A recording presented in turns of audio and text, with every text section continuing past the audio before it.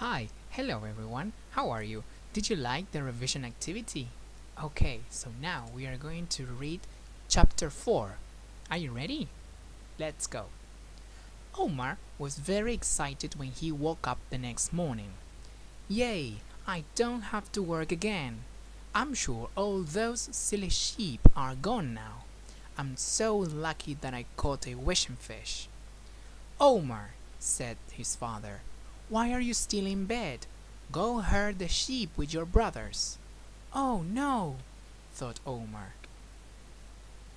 The days passed and Omar continued to look after the sheep with his brothers. The only thing that changed was the weather.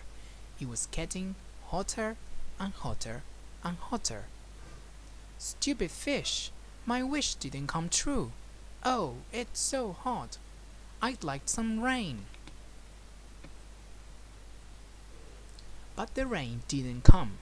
Each day was hotter than the day before. The grass stopped growing and the sheep had nothing to eat. Many sheep were sick. Then, one night, Omar's father made an announcement. I've got bad news. The sheep are sick and some are dead. We can no longer sell wool at the market. We've got very little money to buy food. You boys must go to the nearby villages to look for work. Otherwise, we will starve. Omar was very sad and very worried. Then he remembered his wish.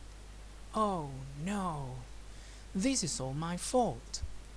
I wanted the sheep to disappear, and they have. Now we've got no money. I must go catch the wishing fish again. Oh, okay, so that's it for today. So what's the problem now in the story? Omar wished all the sheep to disappear, and now they don't have any more wool to sell at the market, so they don't have money to buy food, and they don't have anything to eat, so they will starve, they will be very hungry right? So that's the problem. So now Omar wants to catch the wishing fish again. Okay, so we finished the story for today. Now you will do some activities and that's it. See you next week. Bye.